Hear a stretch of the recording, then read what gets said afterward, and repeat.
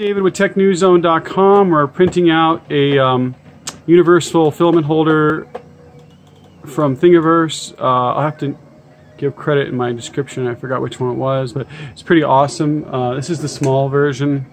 Um, we're going to make a standard size one later, but this is Matterforge Yellow. I'm really impressed by Matterforge Yellow. I got to get some more Matterforge.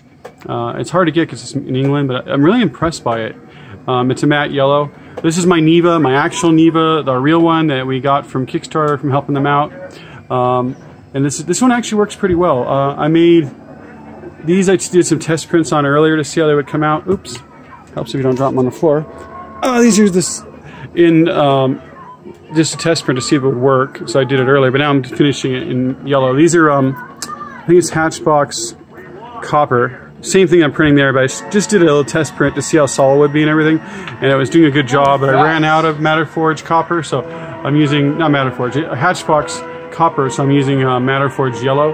But this is the Matterforge yellow printing the spool holder for the small universal spool holder from Thingiverse. I'm going to make a standard later because uh, this is a little smaller than I thought it would be, so I'm going to print out later. I'm going to, in Matterforge yellow, I'm going to make a the stand part, the spanner, the spinning spanner hand, and the top uh, later in, in, standard. It took about 16 hours, but these are the small versions. Um, but I didn't realize they were that small, so they're a little too small. But I'll use the same uh, spool rods uh, for both, so these will work as well. These are 65, will be 65 millimeter spool holders um, for most filament. will fit into it, so.